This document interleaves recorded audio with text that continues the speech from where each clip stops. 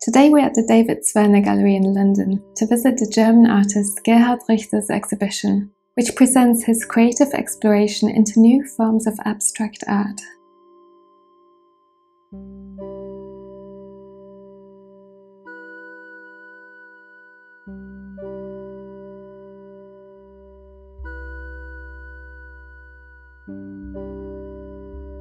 At the heart of the exhibition are these paintings, which the artist created before transitioning away from oil painting to concentrate more on drawings and installations.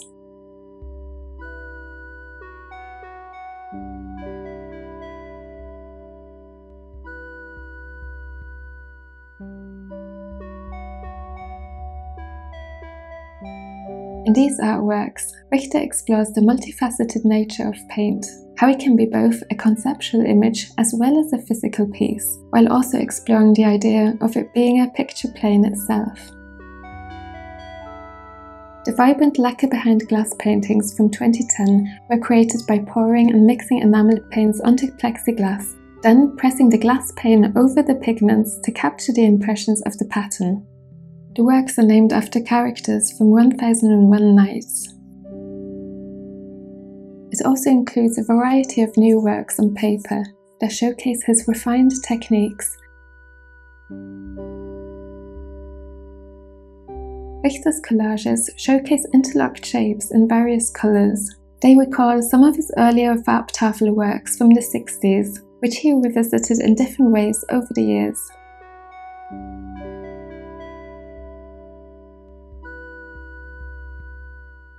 In Richter's pencil drawings, precise lines are contrasted with smudged and erased surfaces. They are often organized in dated series, reflecting the cycles of Richter's practice, with periods of intense creation followed by introspective pauses.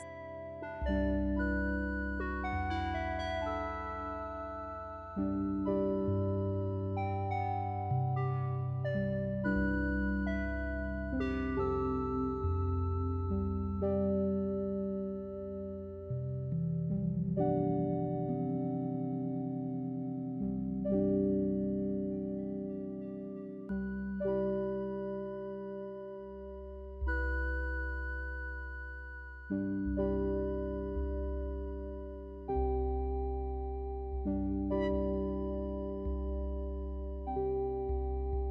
two mirrored pieces in this exhibition are part of the Spiegel series, which he started exploring in the late 70s.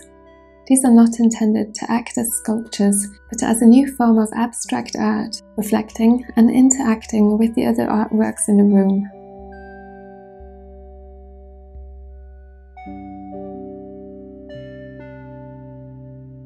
This impressive piece is one of Richter's largest works to date, the strip painting series originated from his photograph of the Abstraktes Bild, created in the 90s, which through a digital process was turned into a pattern of lines, each representing a slice of the original picture, which was then stretched horizontally to create the final artwork.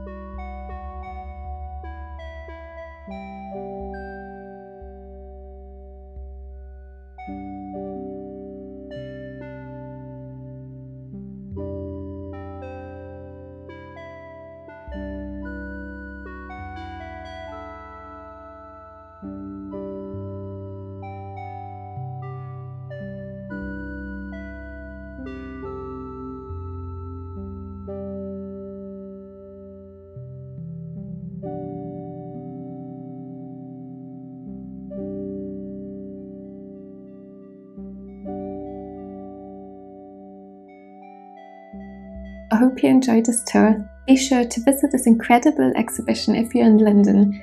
I will see you in one of my other videos.